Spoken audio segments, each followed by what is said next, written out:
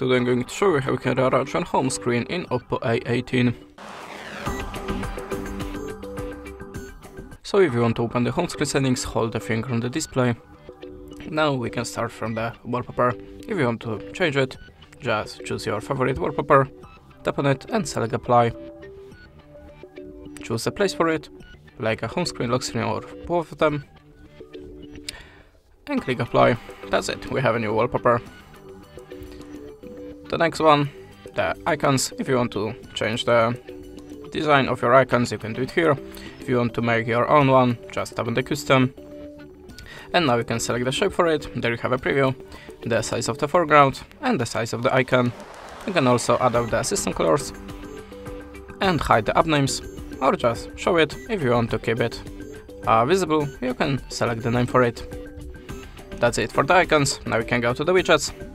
If you want to add any, choose the widgets and hold the finger on anyone. Now choose the place on the home screen for it.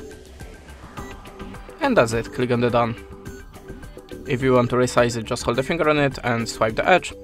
If you want to remove that, hold the finger and choose remove widget.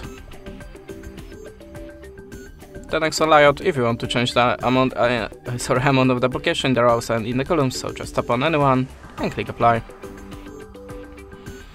Now the transition is the effect when you're swiping the pages, so just tap on anyone to play the uh, to play the preview and click on the apply. Then we can go to the more and here if you want to I think that's it for this one. That's it. Thanks for the watching, leave us a like, recommend and goodbye.